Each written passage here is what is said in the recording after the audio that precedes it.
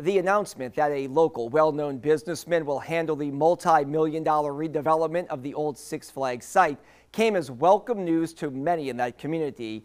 And this latest development comes just a few months after WDSU Investigates took you inside here, the old shuttered park, to show you just how bad the conditions are. Our cameras, the first allowed inside by the city in more than 15 years. And for many in that part of New Orleans East, they say work on turning this into something vibrant is long overdue. She's out taking care of her property. In the Oak Island subdivision at the edge of New Orleans East, Lynette Sparrow has pride in her neighborhood. So it greatly upsets her with what's happened nearby at the old Six Flags site.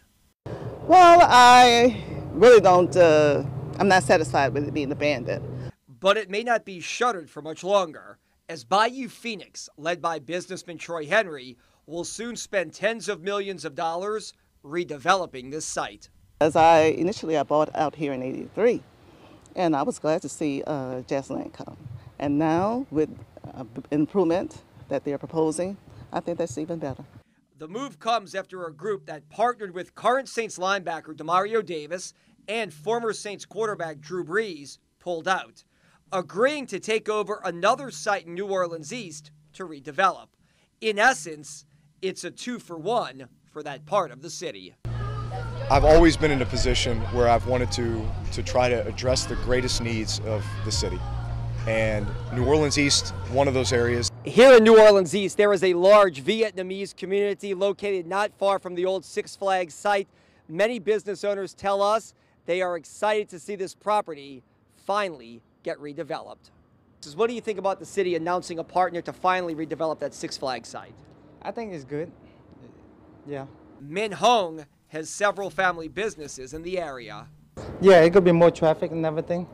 I think we'll please everyone because many people wanted it to be uh, more than just a hub. They wanted it to be some type of recreational facility or something like that. So it will uh, appease everyone.